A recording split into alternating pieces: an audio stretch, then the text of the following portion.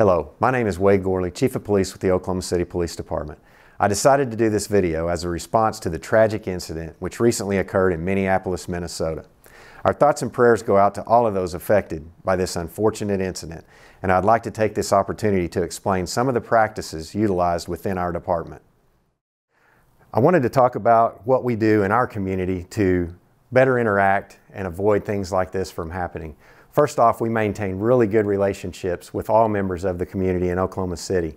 At this time, I've been reaching out and have been setting up meetings with members of our community to try and address any concerns that they may have. But the good thing is we do this on a regular basis by meeting with groups and talking about our policies and procedures and protocols. We continually look at those to update them. We could always do better, and that's why we constantly review our procedures and what we do. Most importantly, we review all incidents of uses of force that our officers are involved in and have a very good track record in that.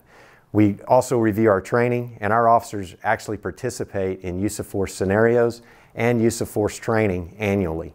We do this to make sure that all of our procedures are followed and that um, our officers are continually updated and know what to do when circumstances happen.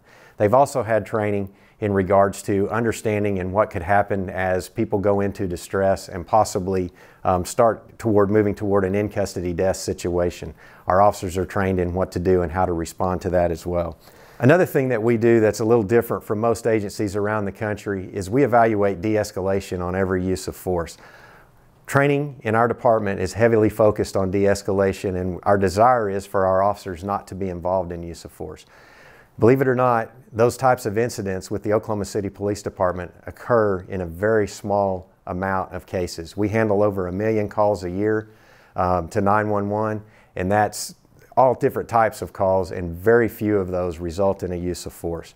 And so de-escalation has become something that's not only part of our procedures, but it's evaluated on every use of force. So I want to thank our community partners, the community, the citizens of Oklahoma City that we deal with on a regular basis for your support. And I also want to thank our officers that go out every day and do a very difficult job and do it with the highest amount of integrity and professionalism.